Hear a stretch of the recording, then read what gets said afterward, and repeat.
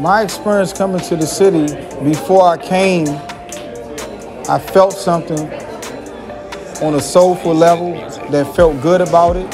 I really didn't know much about the town. I intentionally didn't research it. It just felt right. So when I came, the feeling was validated. I just something. It's a feeling, and I see like opportunity. You know, not just for commercial development, but you know, for love.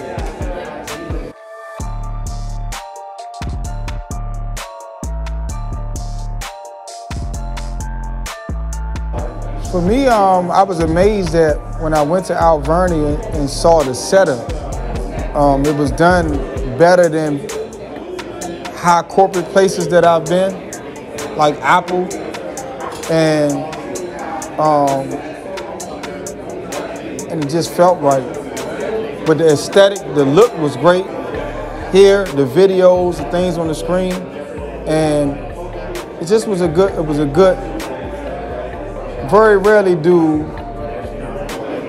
the infrastructure, the aesthetic of the infrastructure where I go to, to speak or present, um, I believe complement what I'm talking about and what I'm presenting. So this is one of those rare situations.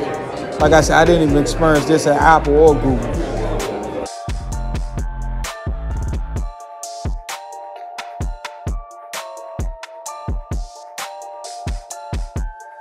Once I came to Goggleworks last night and saw the space, I felt immediately like this would be like the area where I would stop my uh, brick and mortar factory because the factory is here.